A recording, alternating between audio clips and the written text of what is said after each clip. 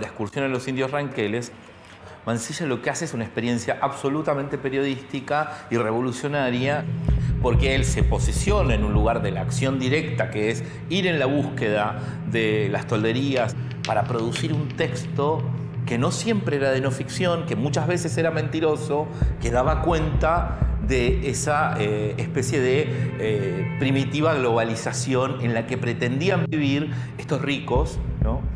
Que tenían el privilegio de hacer mundo, de patrullar el mundo, de caminar el mundo. Este mundo, el de los ranqueles, es un viaje más. La excursión ¿no? es el subrayado de un viaje que en definitiva tiene un límite. El límite es el otro.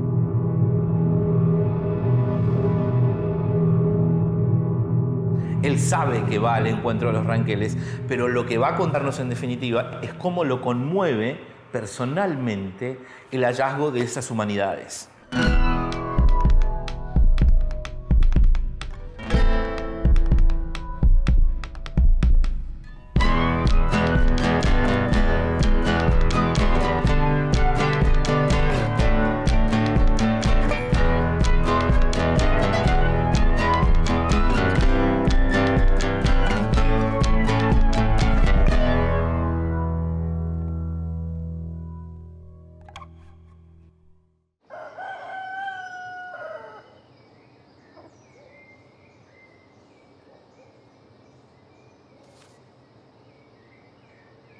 Por un lado, grandes y populosas ciudades como Buenos Aires, con todos los placeres y halagos de la civilización. Teatros, jardines, paseos, palacios. Ubicada en medio de unas calles estrechas, fangosas, sucias, que no permiten ver el horizonte, ni el cielo limpio y puro. Por el otro lado, campos desiertos donde vegeta el proletario en la ignorancia y en la estupidez. La iglesia, la escuela, ¿dónde están? Allí, el ruido del tráfago y la opulencia que aturde. Aquí, el silencio de la pobreza y la barbarie que estremece. Ese es nuestro país.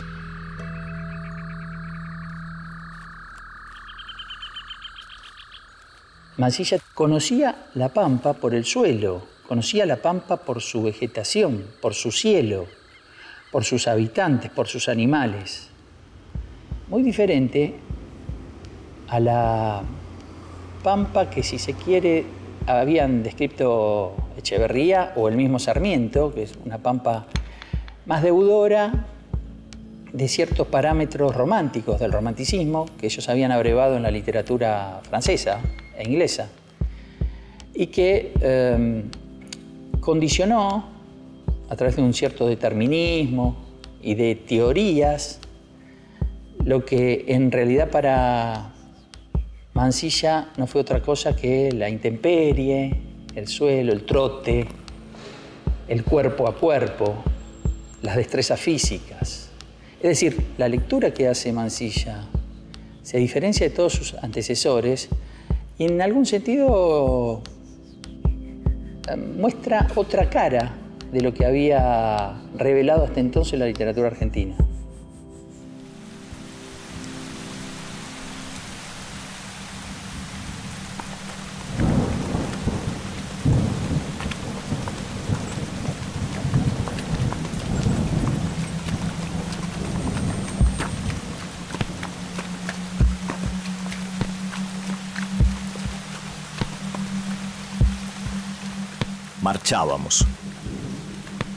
El fantasma de Mariano Rosas parecía acercarse.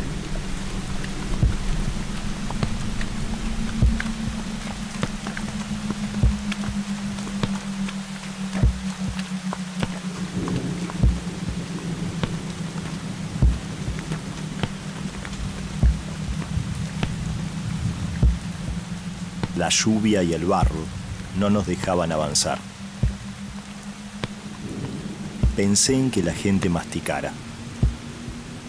Grité para que hagan un buen fuego, pongan un asado y una pava de agua. Comimos bien e hicimos camas con alguna dificultad porque todo estaba anegado y las pilchas muy mojadas. Nos acostamos y dormí perfectamente. La civilización, con sus hoteles y su lujo, desconoce el placer de dormir bajo las estrellas. Pero al fin de cuentas, ¿en qué consiste la civilización?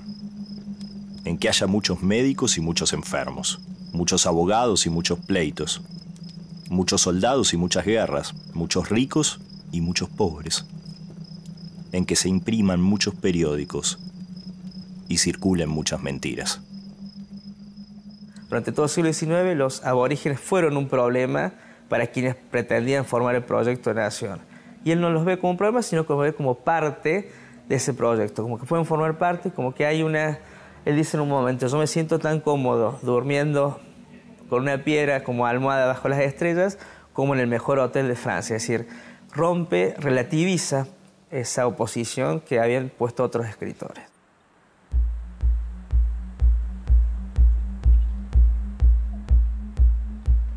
Al día siguiente salimos aprovechando la fresca de la mañana.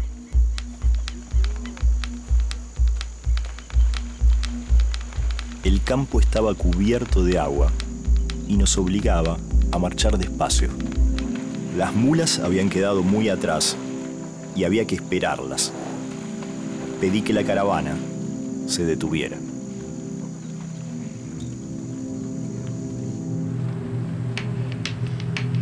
El padre Donati me dijo que estos inconvenientes se resolverían si el tren pasara por la zona. Había varios proyectos para que una línea ferroviaria uniera Buenos Aires con la cordillera de los Andes. Los indios odian el tren. Saben que en cuanto llegue, ellos van a tener que irse, antes o después. Donati alegó que si queríamos civilizar esas tierras, había que aceptar el progreso y la tecnología.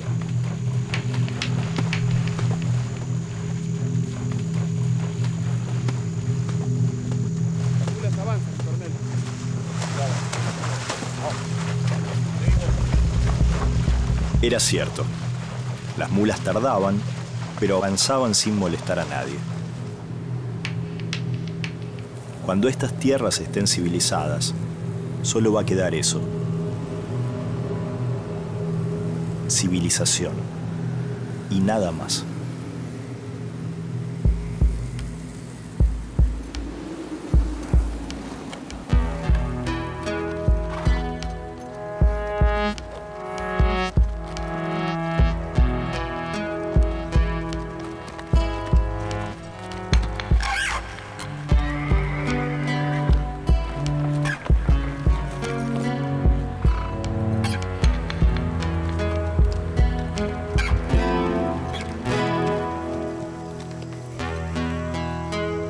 Cayó la tarde y llegamos hasta el rancho de un cacique llamado Ramón.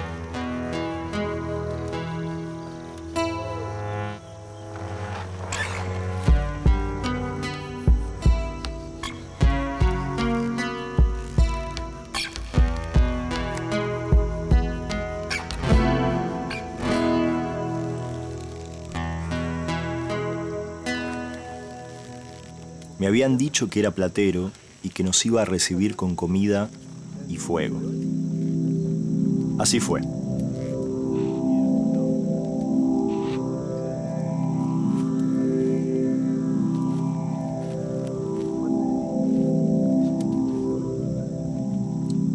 Para la época, ¿quién se menciona como importante? A Ramón Cabral, el platero. Mancilla dice que él tenía un, taller propio en platería.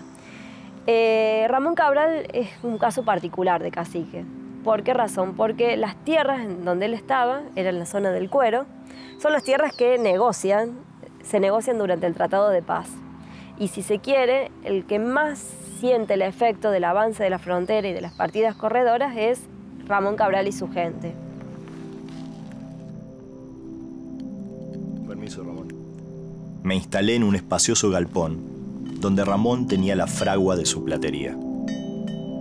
El arte de la platería es común entre los indios. Ramón tenía dos fuelles con los que trabajaba todos los días.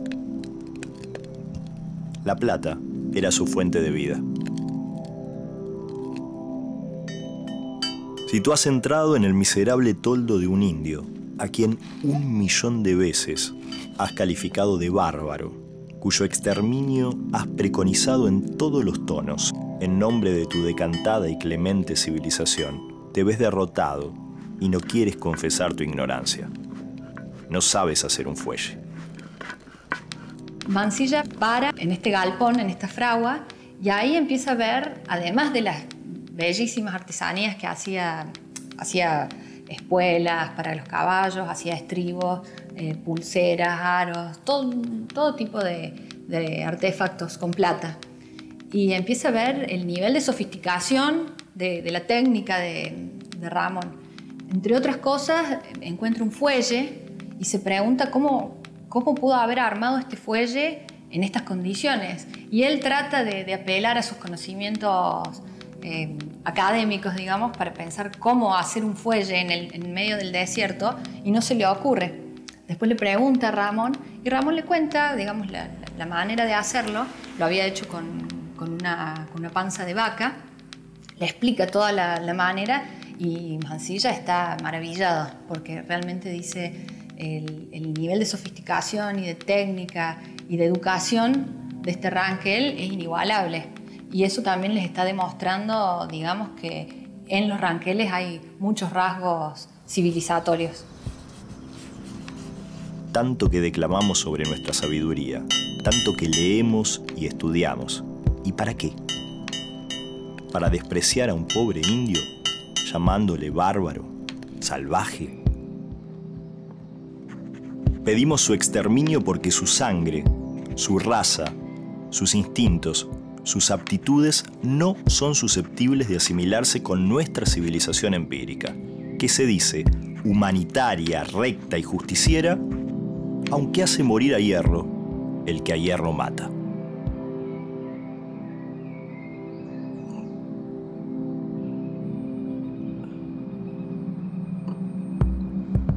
Creo que los retratos de caciques que da Mansilla eh, son muy singularizados y muy matizados por sí mismos y probablemente correspondían a características particulares de cada uno de los que él entrevista.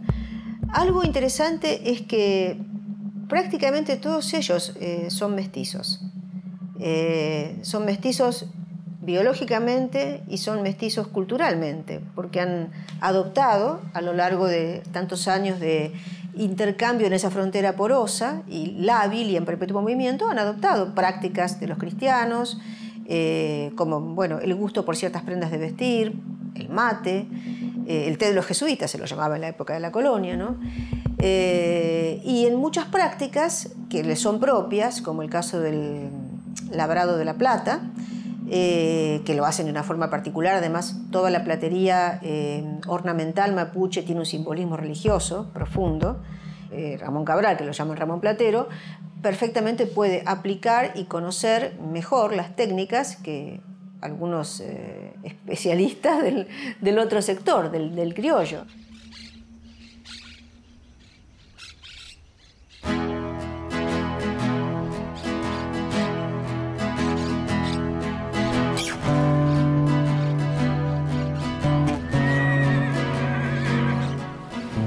Era hora de seguir viaje.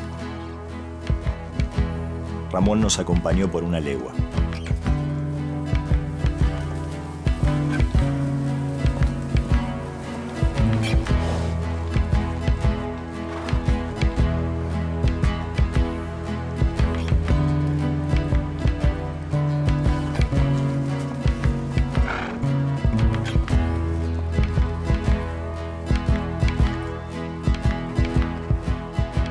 Era un indio admirable. Nos dimos la mano y nos separamos.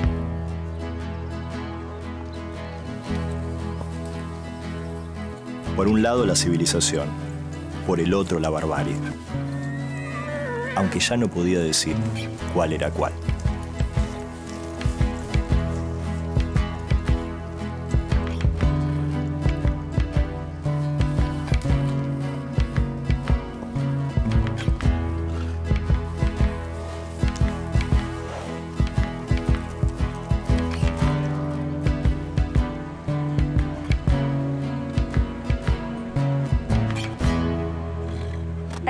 Episodio que a mí me parece muy interesante para pensar el, contacto entre, estos dos mundos, ¿no? la frontera, este, la experiencia de la alteridad, etcétera, etcétera. Y tiene que ver con un episodio que Mancilla cuenta hacia el final de su, de su libro, de su relato, justamente cuando él se va a despedir de Ramón. Y entonces, bueno, conversan y él antes de irse le dice, bueno, si hay algo que él quiere que le mande ¿eh? cuando él retorne, si hay algo que quiere que necesite. Y Ramón le dice, sí, le pido a Tincar. Entonces Mancilla, ¿qué piensa? Uy, este me está pidiendo una cosa, me lo dice en lenguaje propio, en su lengua propia, no lo voy a conseguir, que será la Tincar, pero él dice, bueno, ya no quería decir más nada, porque como yo ya había metido la pata en distintos momentos, digo, bueno, ya veré cómo después me, lo, me, me las arreglo. ¿Cuál es la sorpresa de, de Mancilla? Que cuando vuelve, descubre que Atincar no es un término aborigen, es un término castellano que quiere decir bórax, es decir, un producto químico que necesitaba Ramón para desarrollar su, su trabajo y su oficio.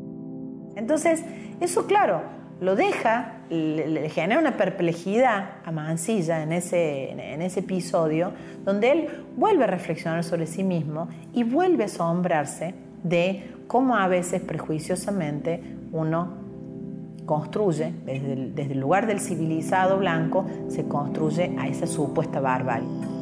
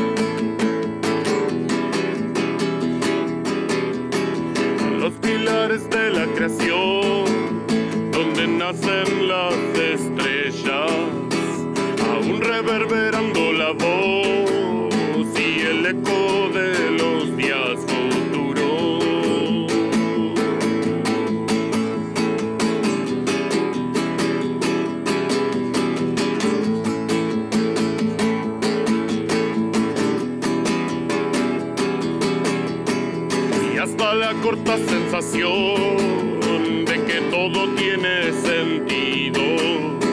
Ya tendrás que pagar para ver una gota de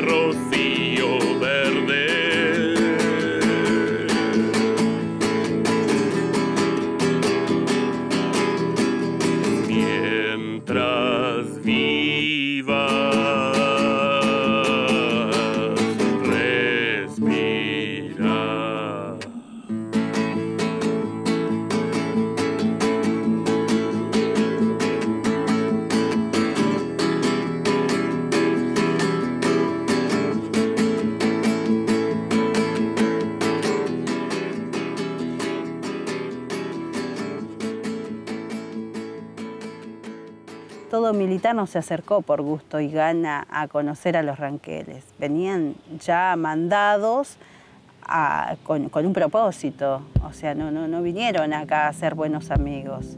Ellos eh, ya venían pensando en qué es lo que tenían que hacer y obviamente que en el momento se daban eh, cosas como vínculos, como ciertas amistades eh, para camuflar ese, ese propósito que ellos traían en realidad. Una de las eh, acusaciones que se le hacen a Mansilla es el de haber sido un espía o un traidor internándose en territorio ranquel para sacar información acerca de estos grupos que luego sirvió para las campañas militares del 78-79.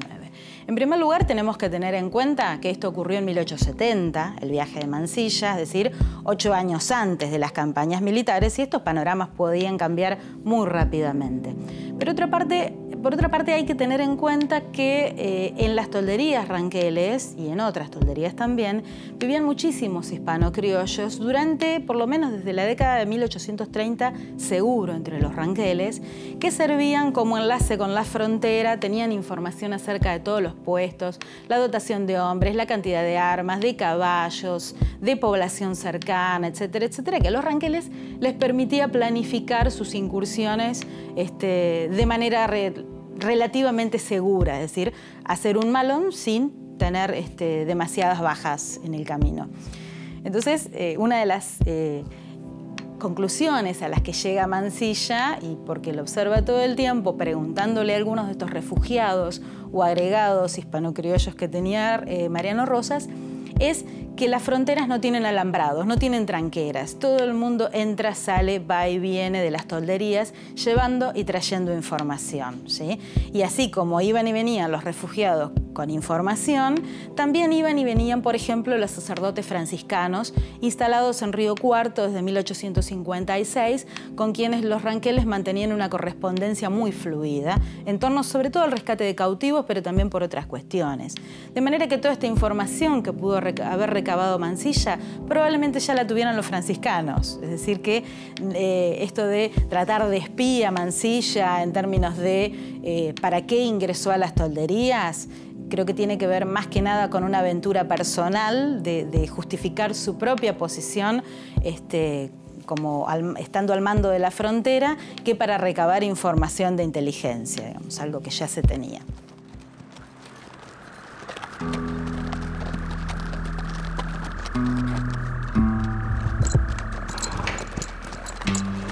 Habían pasado varios días. Lluvias, soles, la vasta y repetida llanura. Pero al fin estaba en Leubuco, en los umbrales de la morada de Mariano Rosas.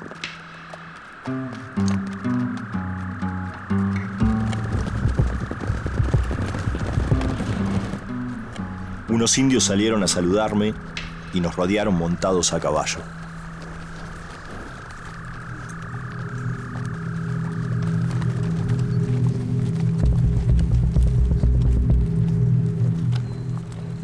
Nos miraban en silencio, expectantes. Y luego de algunos segundos, en los que el tiempo se estiró como una sombra del crepúsculo, el círculo que habían formado se abrió y apareció frente a mí, Mariano Rosas en persona.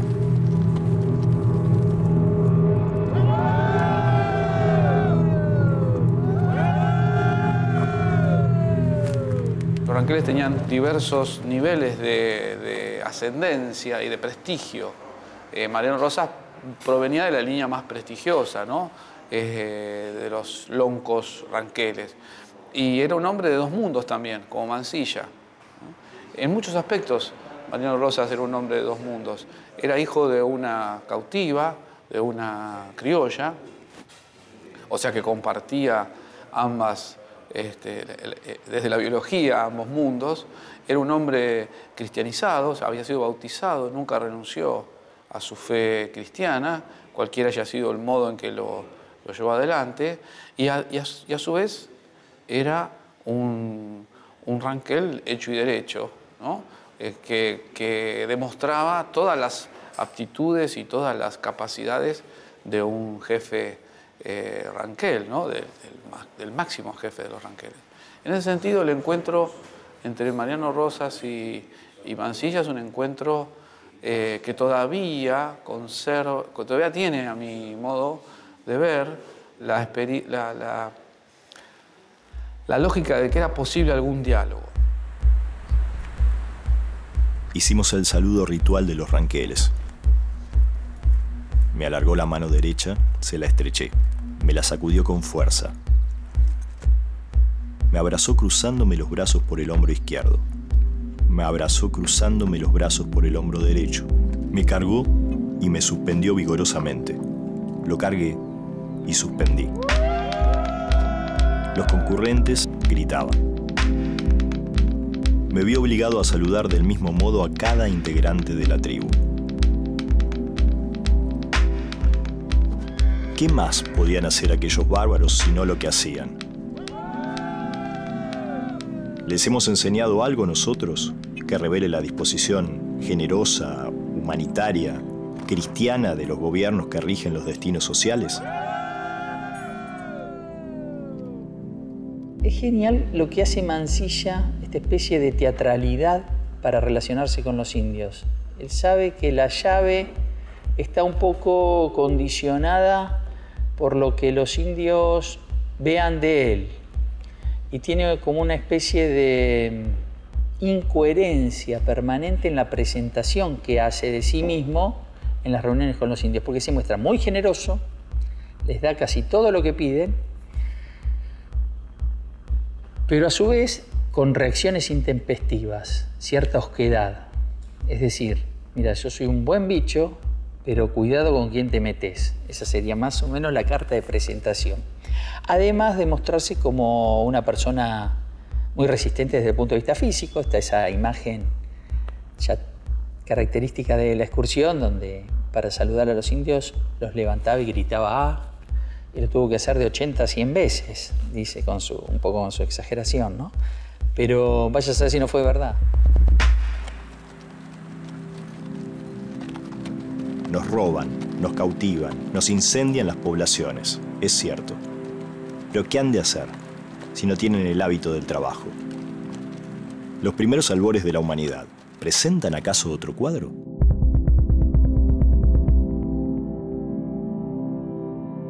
Y así, luego de mucho viaje, llegué a los toldos de Mariano Rosas. Sentí que era un momento histórico, que la historia, como es costumbre, iba a ignorar.